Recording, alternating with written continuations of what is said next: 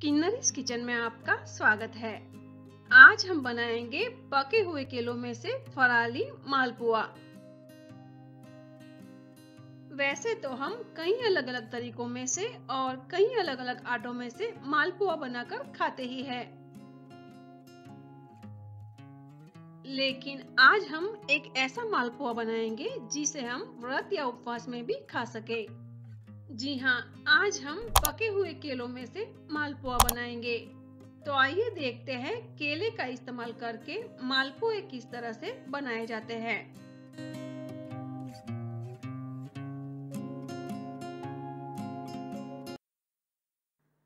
सबसे पहले एक मिक्सर जार में हम दो पके हुए केलों को काट कर डालेंगे। मिक्सर जार में एक कप राजगिरे का आटा डालेंगे। राजगिरे के आटे के अंदर पहले से ही तीन टेबलस्पून मोरिया का पाउडर बना के डाला हुआ है। मोरिया को आप मिक्सर जार में पीस के उसका पाउडर बना ले।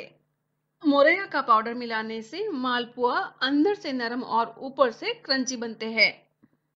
इसलिए मोरिया का पाउडर डालना बिल्कुल ना भूले। अमूल फ्रेश क्रीम, शक्कर और दूध डालकर ब्लेंडर में पेस्ट बना लेंगे।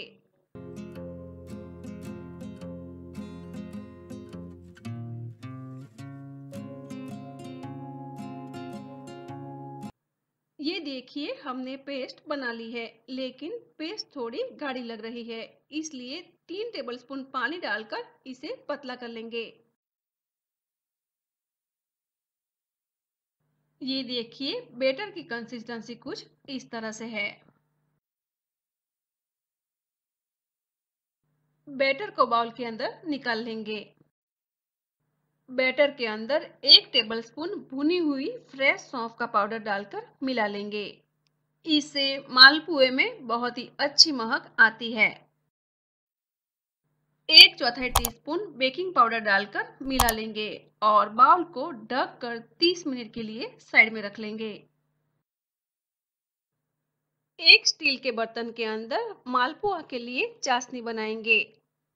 बर्तन के अंदर, एक कप पानी के अंदर, एक कप शक्कर को घुल जाने तक मिलाएँगे। एक तार की चाशनी के पहले की कंसिस्टेंसी की चाशनी हमें बनानी है। शक्कर को हमने पानी के अंदर लगभग दो तीन मिनट तक मिला लिया है। इसे हमें लगभग तीन से चार मिनट तक लगातार ऐसे ही चलाना है।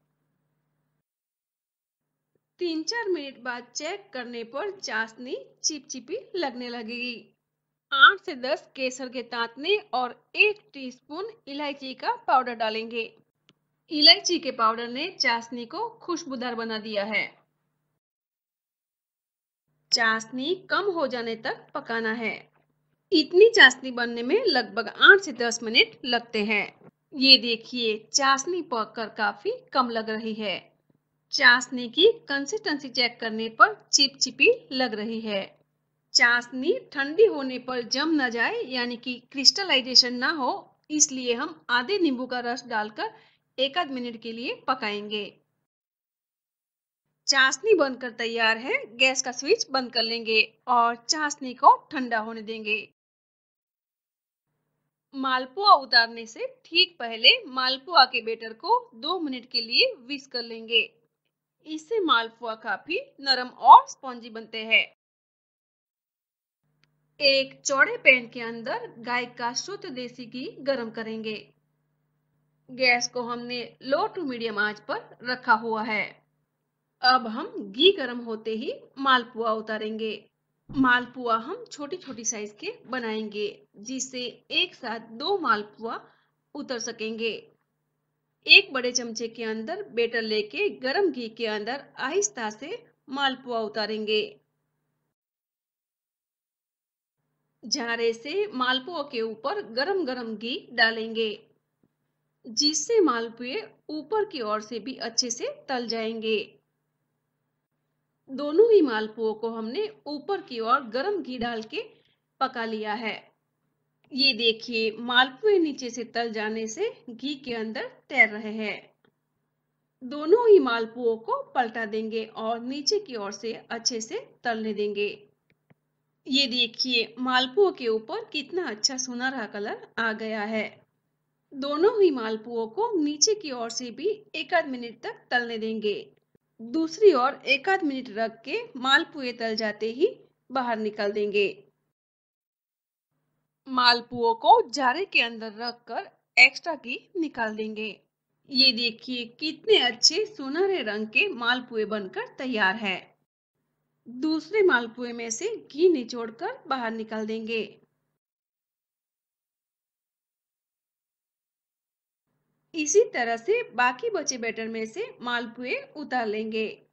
सभी मालपुओं को तलकर एक प्लेट में निकाल लिया है। ये देखिए, हमारे सारे मालपुए तलकर तैयार है।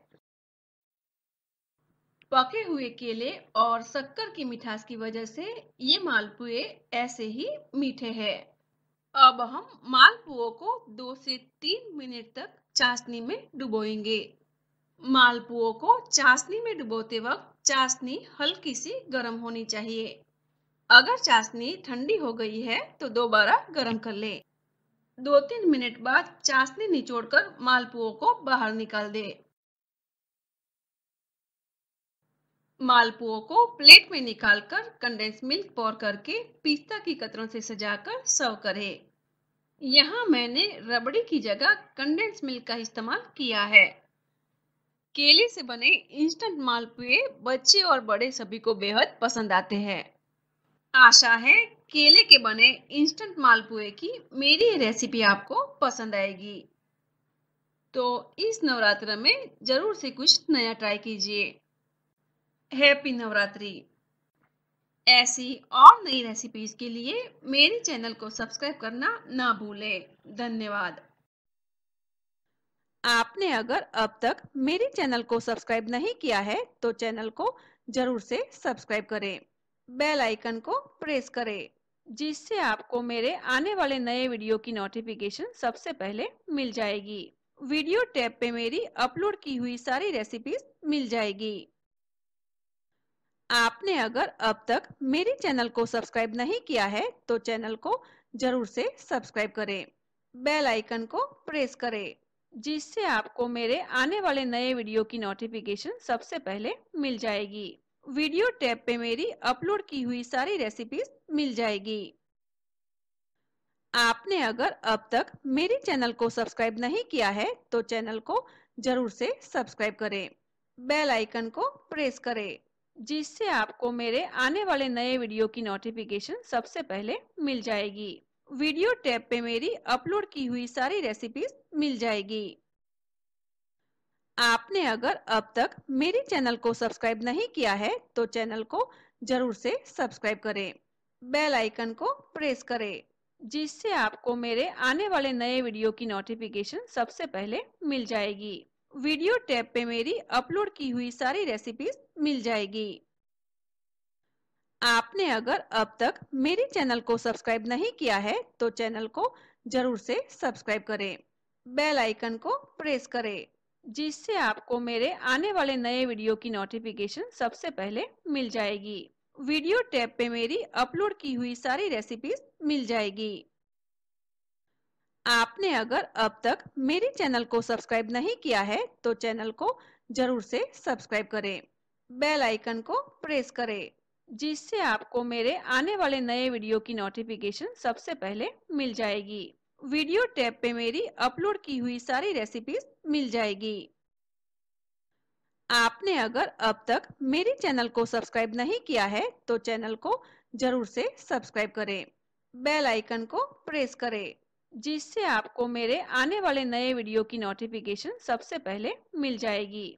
वीडियो टैब पे मेरी अपलोड की हुई सारी रेसिपीज़ मिल जाएगी।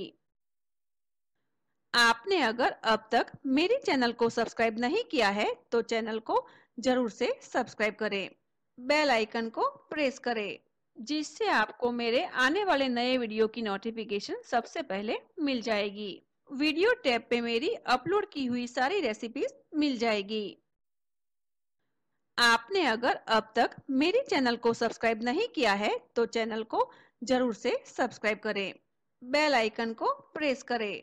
जिससे आपको मेरे आने वाले नए वीडियो की नोटिफिकेशन सबसे पहले मिल जाएगी। वीडियो टैब पे मेरी अपलोड की हुई सारी रेसिपीज़ मिल जाएगी।